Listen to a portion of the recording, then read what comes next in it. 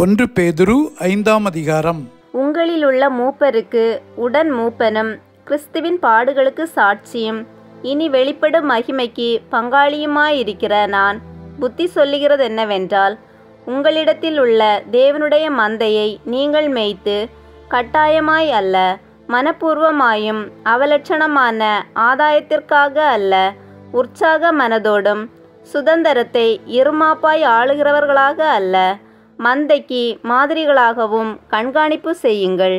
அப்படி செய்தால் பிரதான மெய்ப்பர் வெளிப்படும்போது மகிமையுள்ள வாடாத கிரீடத்தை பெறுவீர்கள். அந்தபடி இளைஞரே மூப்பருக்கு கீழ்ப்படியுங்கள். நீங்கள் எல்லாரும் ஒருவருக்கொருவர் கீழ்ப்படிந்து மனத்தாழ்மையை அணிந்து கொள்ளுங்கள். பெருமை உள்ளவர்களுக்கு தேவன் எதிர்த்து நிற்கிறார். தாழ்மை உள்ளவர்களுக்கோ கிருபை அளிக்கிறார். ஆகையால் ஏற்ற காலத்திலே தேவன் உங்களை உயர்த்தும்படிக்கு அவருடைய பலத்த கைக்குள் அடங்கியிருங்கள். அவர் உங்களை விசாரிக்கிறவரானபடியால் உங்கள் கவலைகளை எல்லாம் அவர் மேல் வைத்து விடுங்கள் தெளிந்த புத்தியுள்ளவர்களாயிருங்கள். விழித்திருங்கள். ஏனெனில் உங்கள் எதிராளியாகிய பிசாசானவன் கெர்ச்சிக்கிற சிங்கம் போல் எவனை விழுங்கலாமோ என்று வகை தேடி சுற்றித் திரிகிறான். விசுவாசத்தில் உறுதியாயிருந்து அவனுக்கு எதிர்த்து நில்லுங்கள். உலகத்திலுள்ள உங்கள் சகோதரரிடத்திலே அப்படிப்பட்ட பாடுகள் நிறைவேறி வருகிறதென்று அறிந்திருக்கிறீர்களே. கிறிஸ்து இயேசுவுக்குள் நம்மை தமது நித்திய மகிமைக்கு அழைத்தவராயிருக்கிற சகல கிருபையும் பொருந்திய தேவன் தாமே கொஞ்ச காலம் பாட அனுபவிக்கிற உங்களை சீர்படுத்தி ஸ்திரப்படுத்தி பலப்படுத்தி நிலைநிறுத்துவாராக. அவருக்கு மகிமையும் வல்லமையும் சதா காலங்களிலும் உண்டாயிருப்பதாக. ஆமேன். உங்களுக்கு புத்தி சொல்லும்படிக்கும் நீங்கள் நிலை கொண்டு நிற்கிற கிருபை தேவனுடைய மெய்யான கிருபைதானென்று சாட்சியிடும்படிக்கும் நான் சுருக்கமாய் உங்களுக்கு எழுதி எனக்கு தோன்றுகிறபடி உண்மையுள்ள சகோதரனாகிய சில்வானுவின் கையிலே கொடுத்து அனுப்பியிருக்கிறேன். உங்களுடனே கூட தெரிந்து கொள்ளப்பட்டிருக்கிற பாபிலோனில் உள்ள சபையும் என் குமாரனாகிய மார்க்கும் உங்களுக்கு வாழ்த்துதல் சொல்லுகிறார்கள். ஒருவரையொருவர் அன்பின் முத்தத்தோடே வாழ்த்துதல் செய்யுங்கள். கிறிஸ்து இயேசுவுக்குள்ளான உங்கள் அனைவருக்கும் சமாதானம் உண்டாவதாக. ஆமேன். இரண்டு பேதுரு முதலாம் அதிகாரம். நம்முடைய தேவனும் இரட்சகருமாயிருக்கிற இயேசு கிறிஸ்துவினுடைய நீதியால் எங்களைப் போல அருமையான விசுவாசத்தை பெற்றவர்களுக்கு இயேசு கிறிஸ்துவின் ஊழியக்காரனும் அப்போஸ்தலனுமாகிய சீமோன் பேதுரு எழுதுகிறதாவது தேவனையும் நம்முடைய கர்த்தராகிய இயேசுவையும் அறிகிற அறிவினால் உங்களுக்கு கிருபையும் சமாதானமும் பெருக கடவது. தம்முடைய மகிமையினாலும் காருண்யத்தினாலும் நம்மை அழைத்தவரை அறிகிற அறிவினாலே ஜீவனுக்கும் தேவ பக்திக்கும் வேண்டிய யாவற்றையும் அவருடைய திவ்ய வல்லமையானது நமக்கு தந்தருளினதும் அன்றி இச்சையினால் உலகத்தில் உண்டான கேட்டுக்கு தப்பி திவ்ய சுபாவத்துக்கு பங்குள்ளவர்களாகும் பொருட்டு மகா மேன்மையும் அருமையுமான வாக்குத்தத்தங்களும் அவைகளினாலே நமக்கு அளிக்கப்பட்டிருக்கிறது. இப்படி இருக்க நீங்கள் அதிக ஜாக்கிரதை உள்ளவர்களாய் உங்கள் விசுவாசத்தோடே தைரியத்தையும் தைரியத்தோடே ஞானத்தையும் ஞானத்தோடே இச்சையடக்கத்தையும் இச்சையடக்கத்தோடே பொறுமையையும் பொறுமையோடே தேவபக்தியையும் பக்தியையும் சகோதர சிநேகத்தையும் சகோதர சிநேகத்தோடே அன்பையும் கூட்டி வழங்குங்கள். இவைகள் உங்களுக்கு உண்டாயிருந்து பெருகினால் உங்களை நம்முடைய கர்த்தராகிய இயேசு கிறிஸ்துவை அறிகிற அறிவிலே வீணரும் கனியற்றவர்களுமாய் இருக்க ஒட்டாது. இவைகள் இல்லாதவன் எவனோ அவன் முன் செய்த பாவங்களற தான் சுத்திகரிக்கப்பட்டதை மறந்து கண் சொருகி போன குருடனாயிருக்கிறான். ஆகையால் சகோதரரே உங்கள் அழைப்பையும் தெரிந்து கொள்ளுதலையும் உறுதியாக்கும்படி ஜாக்கிரதையாயிருங்கள். இவைகளை செய்தால் நீங்கள் ஒரு காலம் இடறி விழுவதில்லை. இவ்விதமாய் நம்முடைய கர்த்தரும் இரட்சகருமாகிய இயேசு கிறிஸ்துவினுடைய நித்திய ராஜ்யத்துக்குட்படும் பிரவேசம் உங்களுக்கு பரிபூரணமாய் அளிக்கப்படும்.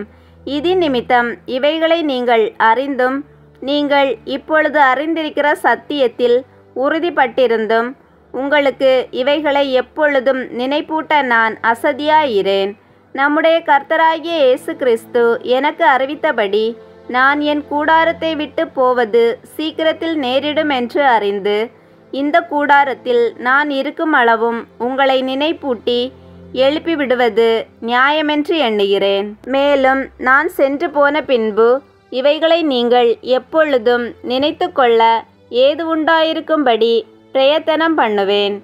நாங்கள் தந்திரமான கட்டுக்கதைகளை பின்பற்றினவர்களாக அல்ல அவருடைய மகத்துவத்தை கண்ணார கண்டவர்களாகவே நம்முடைய கர்த்தராகிய இயேசு கிறிஸ்துவின் வல்லமையையும் வருகையையும் உங்களுக்கு அறிவித்தோம். இவர் என்னுடைய நேசகுமாரன். இவரிடத்தில் பிரியமாயிருக்கிறேன் என்று சொல்லுகிற சத்தம் உன்னதமான மகிமையிலிருந்து அவருக்கு உண்டாகி பிதாவாகிய தேவனால் அவர் கனத்தையும் மகிமையையும் பெற்றபோது அவரோட கூட நாங்கள் பரிசுத்த பர்வதத்தில் இருக்கையில் வானத்திலிருந்து பிறந்த அந்த சத்தத்தை கேட்டோம். அதிக உறுதியான தீர்க்க தரிசன வசனமும் நமக்கு உண்டு.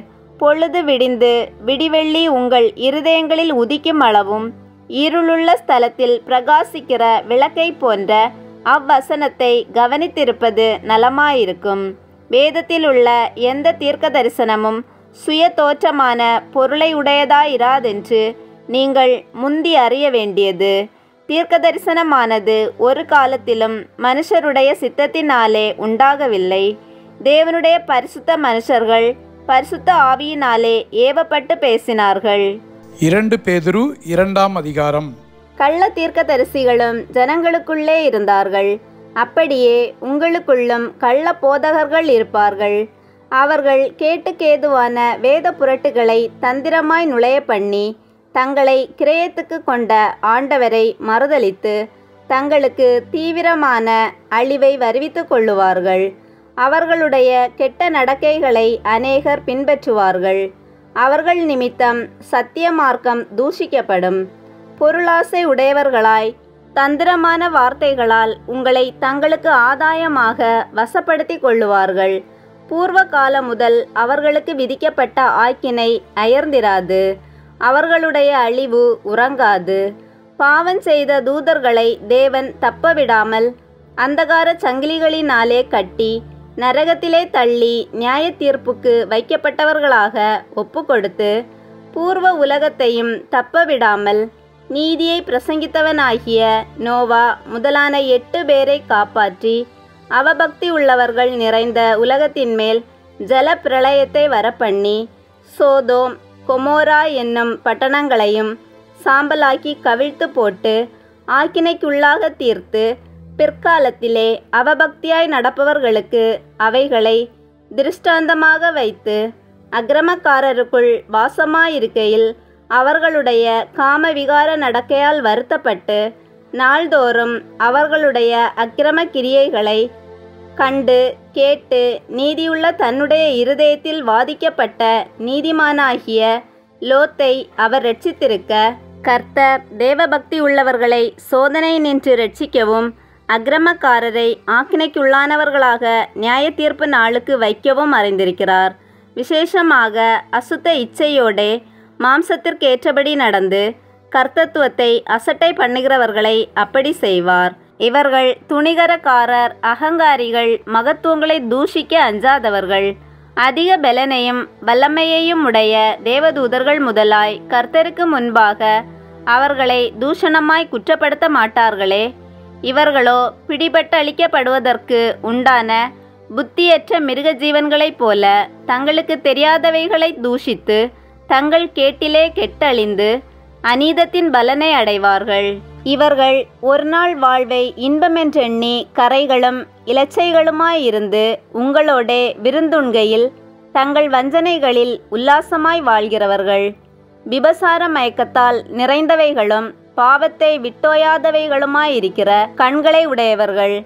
உறுதியில்லாத ஆத்துமாக்களை தந்திரமாய் பிடித்து பொருளாசைகளில் பழகின இருதயத்தை உடைய சாபத்தின் பிள்ளைகள். செம்மையான வழியை விட்டு தப்பி நடந்து பேயோரின் குமாரனாகிய பிழையாமின் வழியை பின்பற்றி போனவர்கள். அவன் அநீதத்தின் கூலியை விரும்பி தன்னுடைய அக்கிரமத்தின் நிமித்தம் கடிந்து கொள்ளப்பட்டான். பேசாத மிருகம் மனுஷர் பேச்சை பேசி தீர்க்கதரிசியினுடைய மதிக்கேட்டை தடுத்தது.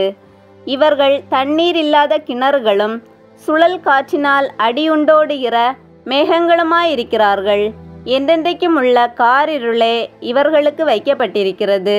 வஞ்சகமாய் நடக்கிறவர்களிடத்தில் இருந்து அரிதாய் தப்பினவர்களிடத்தில் இவர்கள் அகந்தையான வீண் வார்த்தைகளை பேசி மாம்ச இச்சைகளினாலும் காம விகாரங்களினாலும் அவர்களை தந்திரமாய் பிடிக்கிறார்கள். தாங்களே கேட்டுக்கு அடிமைகளாயிருந்தும் அவர்களுக்கு சுயாதீனத்தை வாக்குத்தத்தம் பண்ணுகிறார்கள். எதினால் ஒருவன் ஜெயிக்கப்பட்டிருக்கிறானோ அதற்கு அவன் அடிமைப்பட்டிருக்கிறானே. கர்த்தரும் இரட்சகருமாயிருக்கிற இயேசு கிறிஸ்துவை அறிகிற அறிவினாலே உலகத்தின் அசுத்தங்களுக்கு தப்பினவர்கள் மறுபடியும் அவைகளில் சிக்கிக்கொண்டு ஜெயிக்கப்பட்டால் அவர்களுடைய பின்னிலைமை முன்னிலைமையிலும் கேடுள்ளதாயிருக்கும். அவர்கள் நீதியின் மார்க்கத்தை அறிந்த பின்பு தங்களுக்கு ஒப்புவிக்கப்பட்ட பரிசுத்த கற்பனையை விட்டு விலகுவதை பார்க்கிலும் அதை அறியாதிருந்தார்களானால் அவர்களுக்கு நலமாயிருக்கும்.